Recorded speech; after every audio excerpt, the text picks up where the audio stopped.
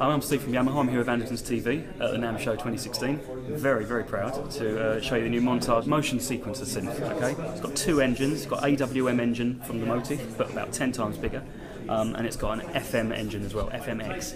Superb, 128 note polyphony in both engines, so you can combine them both, and you've got 256 note stereo at the same time. It's just awesome. Um, the FM is eight, um, eight operator. Mm-hmm. Uh, you've got 88 algorithms, and whereas the old DX was just sine waves, this has got seven different spectral forms. Okay, so you can really, really mash it up, and have great fun with it. On top of all that, you've got this in 16-part performance mode all the time, so you can switch between sounds without um, jumping or stopping the effects. Um, and it's got up to 32 insert effects at once. So by the time you've layered 16 8 operator FM sounds and applied up to 32 effects on it, yeah, yeah. If you can't create massive, massive, massive sounds with this, then you're, uh, yeah, you're in the wrong game. It's amazing. Um, so we've got loads and loads of backlights. Okay, so we've got beautiful controllers here that are all LED stepped, perfect for live. You know, the core of everything is this super knob here. Okay, which flashes in time to the tempo or whatever's going on with it. And this doesn't have anything assigned to it, but what it does do is it controls all the rest of these eight, eight, um, eight sliders. So I can show you on here on this lovely touchscreen. I've gone onto my Rhodes gallery. Okay, so I press enter. I've got five different Rhodes sounds straight away. And as you see, when I'm turning the knob, some things are increasing, some things are decreasing, which is great if you're in, if you've got like a a screaming synth lead and you want to ramp up the like cutoff and the, the, frequency, you can also then ramp down the volume at the same time so you don't deafen people in blow speakers. So very intuitive, and you can also control it with your foot, so you can actually play at the same time. Okay, and that's the core of this. Super, very very cool. Um, as we said, we've got a touchscreen. Okay, and at the moment I'm in live mode, so this is perfect for live. I've got all my user user files here okay?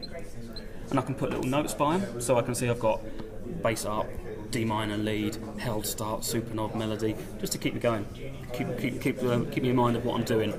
Um, as I said, two different engines, but they can be layered. As you see on here, I've got AWM plus FMX. Some of the sounds are just AWM sampling, some of the sounds are just FM, the beauty is when you actually merge them together and you get something extremely powerful. Of course, it's Yamaha, it's got a beautiful piano sound, it's got um, full aftertouch, you've got assignable control wheels up here, you've got features over here for the assignable buttons, you've got your ribbons. Something new to a high-end um, synth for us is the fact that it's also a, a, an audio interface as well, which is killer. So I've got my AD input here, which I can turn on and off, and I've got my gain. This actually operates as a six-input 32 out audio interface, okay? So although I've only got two physical inputs on the back, left and right, okay, I can take um, a further two stereo returns from the computer. So I could even run, I could run YouTube on channel three and four in stereo through it, and then I could process another VST. So if I was using, I don't know, if I was using Massive or if I was using Prologue or something like that, I can run that on channels five and six and use the internal effects engine so I can free up the computer. So it's all about integration with the computer, so you're not crashing your computer loading up with all the with the, all the um, effects. Use this because it's what it's meant for. Okay, um, and 32 out, so 16 stereo outs recorded simultaneously. So as the hub of a studio. So cool. I mean, uh, it's got it's got it it's got it all going on. Um, some things are kept from the Motif. So over here it's really easy to find your sounds. So I've got category search and I can go in here and I can say, right, attribute. Do I want to look at the sampled sounds, or do I want to look at the FM sounds, or do I want to look at a mixture of FM and sample? There What what category, what bank? I can have a look at FM strings. Brilliant, and it's all all in nice categories. Really, really simple. Go to all strings, page down, page down. And if you want to put one in your live set, it's so simple. I've got okay, mellow harp, shift, live set, choose a slot, bosh, it's in my live set. You know, if I want to edit it, I can say, okay, well, it's an acoustic instrument, so I like all my acoustic instruments to be purple. And it's purple. If I want to add a note by it and say harp is nice, harp, nice, done and there it is. You know, so it's quite cool if you're going through going through your set and you have to remember. You should need prompting because you're all professional musicians, but it should it, it just helps you prompt. And I can see because I've got all my uh, my prompts here of what makes the sounds sort of sound quite nice. So, awesome. Enough chatting. Some demo sounds, okay? Ones I'm going to concentrate on because there's going to be plenty of chan- chances to see all of the beautiful um, like pads and all the beautiful electric pianos. It's a given. Um, we're going to see some sounds that use the AWM sampling as well as the FMX and how you can sort of like switch between the two of them. One of my favourite ones for demonstrating that FM for airports. Okay, so you've got.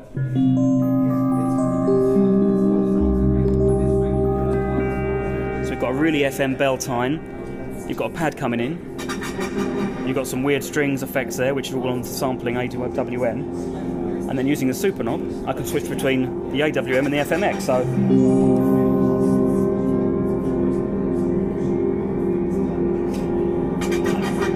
That's changing the layers. it's changing the layers. It's now moving from AWM to pure.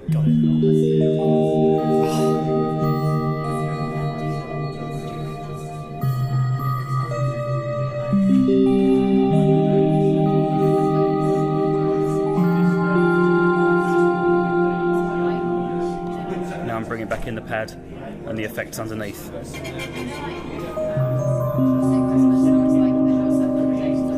So powerful. It's beautiful. Um, yes, you've obviously got beautiful. Um,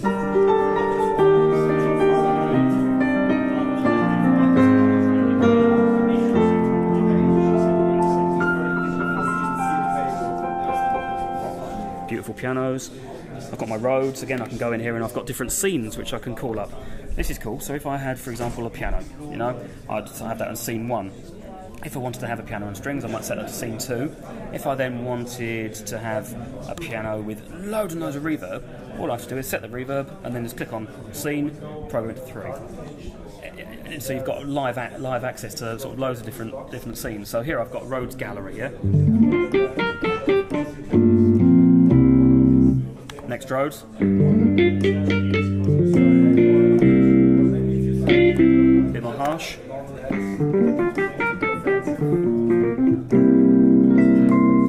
Off samples. And you see here the super knobs controlling all sorts of wonderful things going on at once. Yeah. Great fun. Okay, more more synthy stuff. So back to my live set. I've got what's this? Dub rock bass. Okay, so now we've got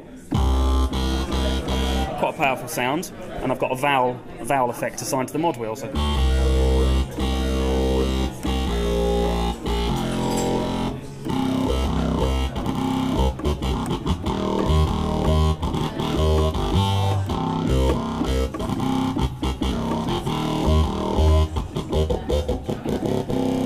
But the super knob here is controlling not only the filter and the sound of the sound of the instrument, but it's also controlling um, how it's played. So it's also controlling the portamento.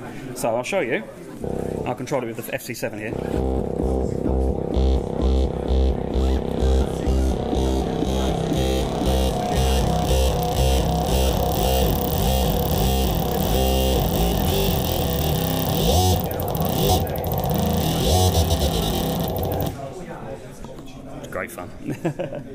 Um, another different thing, I've sort of got the motion sequencer, okay? This gives you an example of what's happening when you're talking about motion sequencing, okay? So, let's play, I've got a nice TB303-esque sort of squelchy acid sound.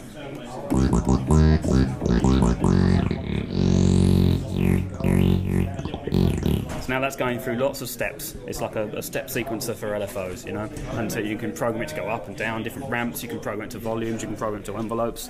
You can really, really go mad with it. But that gives you an example.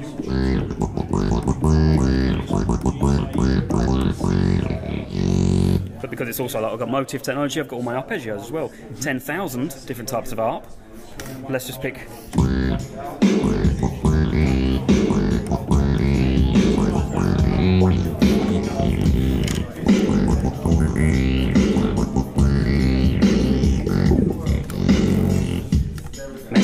Messy, messy, messy, sort of potential.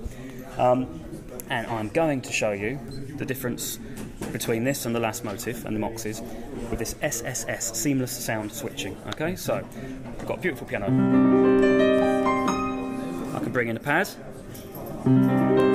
which is an FM pad underneath.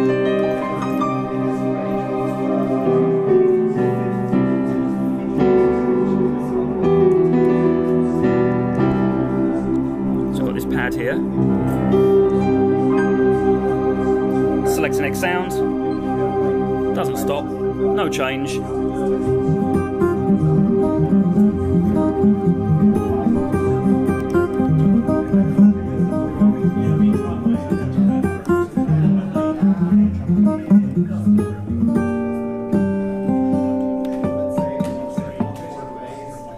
And Superknob here is giving me a bit of delay and reverb.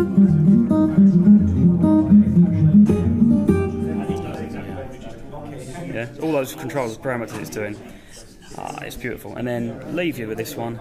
This is AWM arpeggios, pads, FMX, and motion control all going in one to make a beautiful, beautiful um, ambient sort of um, arp.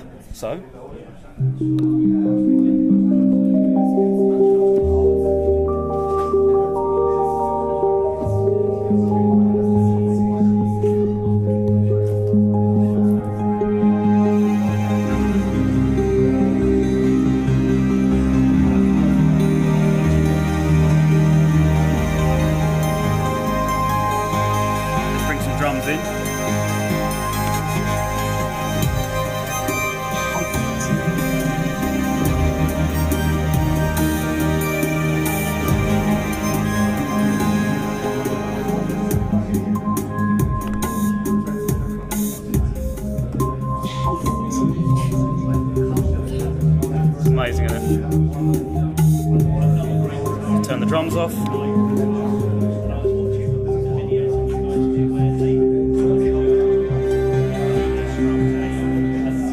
Give you an idea of the side chaining, very, very simple. I was talking about you can take a, an audio input, you can make it um, automatically side chain. You can also attach a um, envelope follower to the audio input, which basically means I can stick a microphone in the bass drum of the acoustic drummer, and I can set this to follow his BPM, and I can play my arpeggios, and it will keep in time with him. And I can also set that audio input to do all sorts of cool things. So I could, for example, set set a wah wah on an electric piano to kick in with a max, maximum depth every time the bass drum hits. Yeah, and I can also apply a side chain. So give you an exa- give you a little example. One of these tracks here.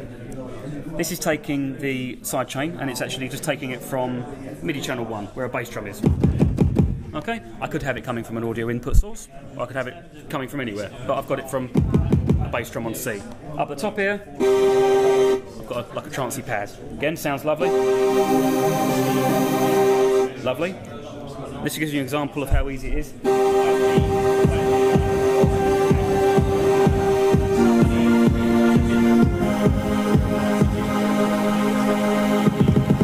And you hear it ducking every time the, the, the bass drum kicks in. Simple. So yeah, very very powerful, and it could transform how live music is. You know, because at the moment you've got. I know when I'm on stage, I'm very much detached. So everyone else is all apart from um, like side chaining. Okay, everyone's all tied in together with Ableton and with Cubase and with electric drums. And when I do a bit of synth lead, I stick out like a sore thumb because I'm, I'm on my own. But now I can take an, an input source from uh, DTX, chuck it into the audio input, and I can apply a side chain from the drummer. And so now when I play my synths, I'm in perfect time with the rest of the band, in theory. but yeah, it's going to change the way I play. Well, thanks, Steve. No Fantastic demo. When can people expect to see this one? May. Awesome. Thanks, brother. No problem. Take care.